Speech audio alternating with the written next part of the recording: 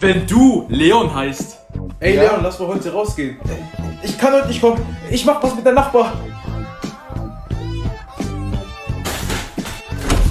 Ey Leon, Wo ist der?